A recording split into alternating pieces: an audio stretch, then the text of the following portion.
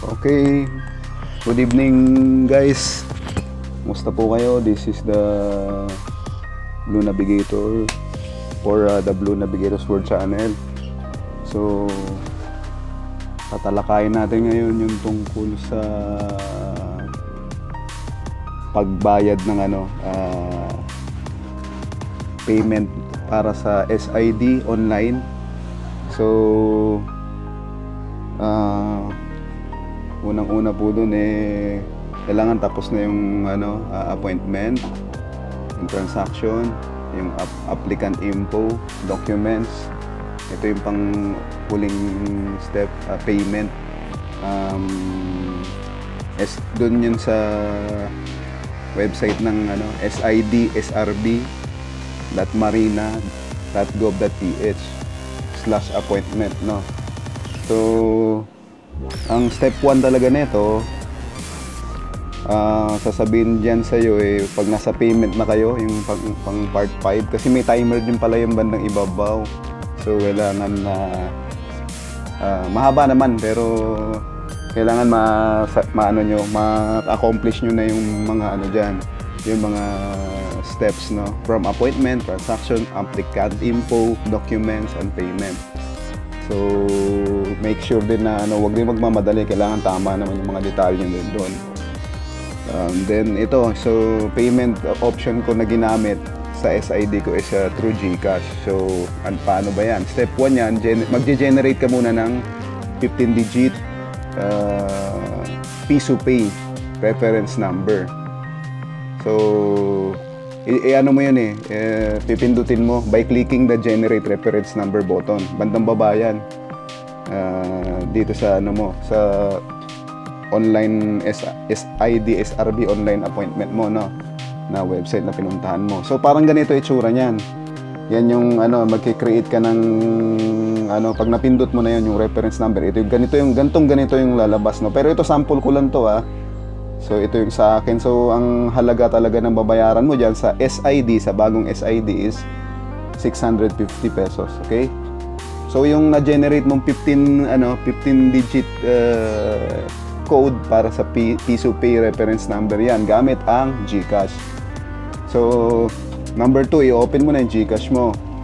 Then uh, hanapin mo doon yung ano, hanapin mo doon yung option na uh, papunta sa ano sa GCash mo. Mag-login uh, ka. Okay, so ganito yung tsura. Uh, dashboard tayo ng GCash. Okay, so sample ko lang to. Kasi tapos actually kapon lang yung uh, naging uh, transaction ko, uh, appointment schedule ko kahapon, nakuha ko na siya sa PUEA. Uh, Marina PUEA branch, no? Diyan sa may Ortigas, sa PUEA, no? So, ito lang para sa kapakanan din ng mga gagamit ng uh, GCash for payment niya ng online dito sa uh, SID, no? SID. SID, SRB pwede. Pero itong akin din, SID lang yung kinuha ko kapon kasi valid pa yung Siemens book ko. So, punta ka lang po sa, no, uh, ito na, dashboard mo. Punta ka lang sa uh, pay bills. Ito, pay bills. Then, uh, punta ka sa payment solutions, no? Ito, payment solution. So, yan.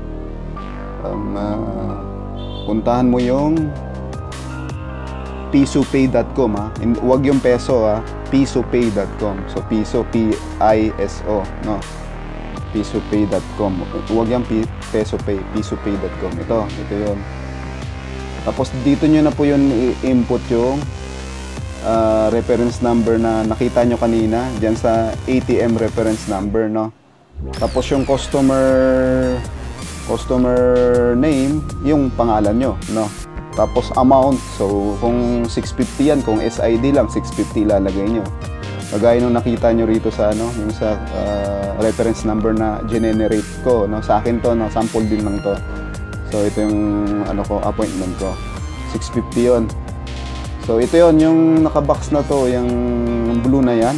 Yan yung reference number. So, kung nag-generate kayo dyan sa inyo sa online appointment nyo ng uh, SID, SRB, SIRB, S- SID, SRB, ma- marina.gov.ph slash appointment. So, yan yung gagamitin nyo rito sa eh, portion ng ATM reference number, no?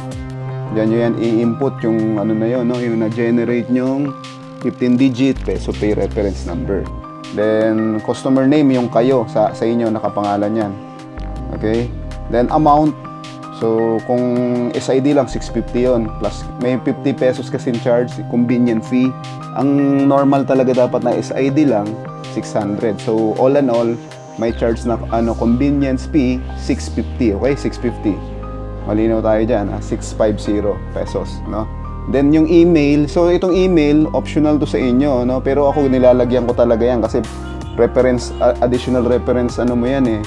Uh, pwede mong maging ano yan kumbaga uh, tawag dito ebiden ebidensya na binayaran mo talaga. So ilagay mo diyan sa uh, email address yung email address mo na ginamit mo na rin doon sa ano yung lagi mong ginagamit no yung working email address no? Registered email address mo. Then yun na i-next mo na. Kung, kung tama naman yung mga details yun na i-next mo na lang. Okay? So sa akin hindi ko na i-next ito dahil uh, tapos na yung sa akin. So ito para sa kapakanan nyo no? So uh, para makatulong din ako. So madali lang siya actually mga kabara, ka, ano kabayan no, kabaro no. So parang ganyan, ganyan yung mangyayari niya no, ayan. Payment method e-money. So may mga options kasi doon eh. Pero ang sa tingin ko pinakamadali at uh, madali, ano, uh, convenient na gamitin itong GCash no. So ganyan. So ito pala uh, tip din pala da, ano i-screenshot nyo sa cellphone nyo ah, kasi tinitingnan doon ng uh, verification. Sa verification hahanapin niya yung uh, payment details nyo lalo tong may ano ito, yung may QR uh, I mean may ito QR code, reference number no. Titingnan nila yan. So i-screenshot nyo yung mga portion na yan no. So yan mga ganito no. So this serve as your official e-receipt no for this transaction kita nyo nakalagay oh. so appointment date nyo kailangan meron na rin yun no bago makapag-generate tapos tama yung detalye nyo so ganyan i-screenshot nyo lang po kasi ano makakatulong din po yan sa inyo. Ayun. Yung yan yan na rin yung reference number. Pag nagche-check kayo ng ano appointment schedule nyo ipasok nyo lang yan no? Then yung birth date no? Tapos input nyo dun sa SID SRB appointment status no? So yan, pagka okay na yung ano, okay na yung uh, payment, ganito na yung makikita nyo. Your marina appointment status is confirmed na. Okay? So may ano rin yun, actually mayroon din kayong marireceive once na na-send nyo na sa GCash nyo. Na-send nyo na yung binayaran nyo 650 pesos. Meron na rin po yung ano, kasi di ba yung GCash natin, kung meron kayong GCash app eh, connected yan sa mobile number nyo. So mag uh, ano yan diyan, mag, may magpa-prompt diyan na ano, may magno-notify kumbaga no. So parang ganyan no, yan no. Please to pay. Transaction success yun sa ibabaw, nakita niyo yung messages no, uh, through text messages nila. So ganito, ganito yung itsura, yan no. Yan na yung binayaran ko sa SID, 650 pesos. All and all. So nakalagay diyan. So yan, pwede nyo ring screenshot yan mga kabaro para uh, dagdag ano rin doon, ano, dagdag uh, ebidensya rin, no, ebidensya sa evidence doon sa ano, sa verification sa marina sa first step, no. Yun lang yung pinaka ano niya. So yan lang yung ano niya. Madali lang siya uh, kabaro, no. Okay. So Okay, una uh, ulitin lang natin na yung i-recap natin yung ano, yung na take up natin. So, unang-una doon, tapos na kailangan yung appointment nyo, yung nag-schedule na ko yung appointment, transaction, application info, nag-ano na kayo, nag-encode na kayo ng uh, detalye no sa uh, personal details nyo, documents, okay, So, doon sa documents, ang pinipili doon yung hindi na mag-upload eh. Kasi actually may ano na tayo niyan eh. Wala dong option na ano eh, na upload documents, yung mga bagong ano ngayon, bagong mag-appointment ngayon dito sa SID, SRB kasi hinahanap ko yun eh. Matatandaan ko wala wala akong nakitang ano doon. Wala akong nakitang uh, upload may option doon na i- i- i- i- i-check nyo yung ano na ano kumbaga hin- hindi ka mag-upload ng ah, documents. Pero huwag kayong mag-alala kasi ano naman yun, magpo-proceed yun, no? So, doon yun sa step 4. Then, ano, ah, step 5, ito na nga yung payment through GCash itong ginawa ko. GCash na lang gamitin nyo mga kabaro, mas madali. Okay, so ah, okay, hindi ko na patatagalan to. Yung kahapong ano video ko na in-upload doon, yung 3 easy steps lang doon pag nandun na kayo sa schedule nyo. ah, nag ano na kayo, ah, pumunta na kayo sa Marina branch na ah, pinili nyo para sa appointment schedule nyo. So, tatlong easy step lang. So, step 1 doon, verification. Step 2, encoding, ah, photo capture, no? So, doon sa encoding, mahalaga doon, ano, ah, i-check nyo mabuti yung details, ang data nyo doon. Sabihin nyo doon sa nag encode no, sa no, evaluator o sa encoder doon, sabihin nyo na kung may mali, i-ano nyo agad. Inform nyo agad sila para bago ma-print, ma- ma-print, ma- ano na, ma-final printing na yon at ma-release sa panghuling step which is the releasing ano na ah, window 3 na yon make sure na tama lahat ng detalye, okay? Bago kayo umalis doon. Kasi may pipirmahan din kayo doon sa ano eh, ah, parang pad nila, yung electronic pad nila na connected sa computer. So, pipirma kayo doon pag okay na. Sasabihin sa inyo doon nung, ano, nung attending na encoder doon o nung evaluator, okay? So, yun, after nung ano, step 3, ah, yun na yun, doon na i-release yung ano nyo. Antay lang kayo saglit doon sa step 3 yung transaction ko nga kahapon eh ano lang eh at uh, take take take only about uh, 35 minutes nga lang yun. Oo.